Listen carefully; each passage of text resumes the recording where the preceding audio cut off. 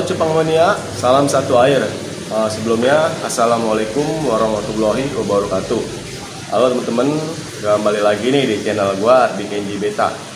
Uh, jadi gini teman-teman, kali ini gua tuh mau kasih lihat lagi ya hasil kawin silang antara Super Black untuk di jantan, untuk di female Blue Koi Galaxy ya.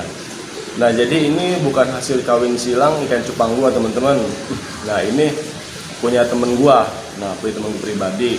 Nah dia tuh lihat di tetangga sebelah, kata dia ada yang pernah coba, terus jadinya katanya bakalan jadi BBL atau jadi Avatar Gordon katanya ya kan. Nah setelah dia coba, dia coba, dia coba, di kebanyakan cobanya ya. Udah empat bulan sekarang umurnya dan itu kebanyakan hasilnya base girl atau grand grand base girl ya warna-warna hijau terus cuman hitam-hitam di pala doang sedikit. Yang kalau gue perhatiin ya terus kalau selonya itu banyak banget kok ya teman-teman. Udah nggak kehitung. Nah jadi teman gue cuman bilang sih kata dia kalau misalkan kalian ingin cupangnya itu uh, kalau kalian mau mau dibagi-bagiin sama dia. Nah kalau kalian mau jauh paling kalian cuman bisa bayar ongkos kirim aja. Nanti kalian juga bisa chat di komentar di YouTube gua atau juga bisa DM ke Instagram gua. Kayak gitu temen-temen ya. Nah gue lupa tuh yang kemarin mau bilang mau plasma gue nyediain plasma ya. Uh, di sini banyak banget tuh. Uh, di depan juga ada lagi kalau yang mau plasma silakan bisa langsung ke DM gua atau bisa chat di YouTube gua silakan. Ya terserah mau berapa pasang. Intinya sih uh, harus lebih dari dua pasang ya. Nggak boleh satu pasang. Intinya gitu aja. Nanti kita konfirmasi aja di Instagram gua. Gitu temen-temen ya. Uh, yaudah deh daripada panjang lebar mendingan langsung aja nih gua liatin hasil crossingan temen gua ya. Hasil crossingan temen gua antara penjantannya super black untuk female-nya blue koi galaxy Oke teman-teman, jadi ini ya sebelum gue latihan ke anak-anaknya, gue kasih lihat untuk uh, indukannya ya.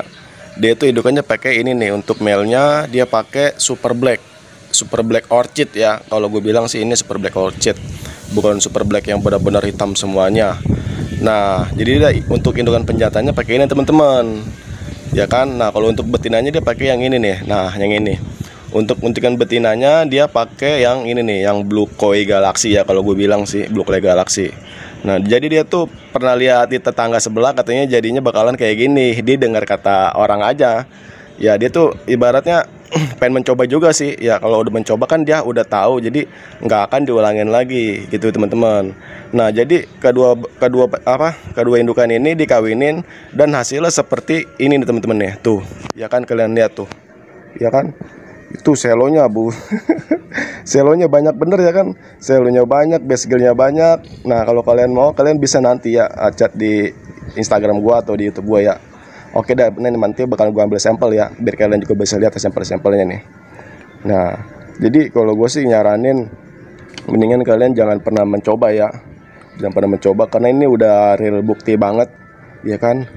Jadi kalau kalian mencoba tuh kayaknya capeknya sama aja sih kalau gue bilang. Sama rawat ikan bagus rawat ikan jelek capeknya sama. Dan kalau yang membedakan itu ya cuman hasil ya kan cuman hasilnya. Jadi kita cuman dapat capeknya doang. Ya nggak ada hasilnya. Jadi kalau kata gue sih ini benar-benar yang namanya rugi waktu. Dan lagi ikan ini juga umurnya sudah empat bulan. Nah kalau ikan udah umurnya empat bulan begini tuh uh, apa ya udah nggak ada harapan ya kan? Jangan empat bulan tiga bulan deh umur tiga bulan kalau tiga bulan aja itu bagi gua umur segitu kalau masih base girl masih selo begini itu udah namanya udah nggak ada harapan lah pokoknya. Udah begini terus udah dia sampai tua mungkin ya. Ya tapi kita kan namanya nggak tahu namanya cuma berusaha kan uh, Allah yang ngasih rezeki ke kita apakah ini bakal mutasi bakal bagus kah atau masih begini-gini aja ya kita kan nggak pernah tahu teman-teman. Jadi gue cuman bisa bilang aja ke kalian uh, maksimal umur untuk bermutasi bagus itu ya di umur dua bulan. Kalau umur tiga bulan ke sana itu kalau udah selo selo aja. Kalau udah best girl aja. Jadi ya ya begini udah nggak ada apa-apanya teman-teman. Oke ini langsung gua latin langsung di soliternya ya tuh biar kalian jelas tuh.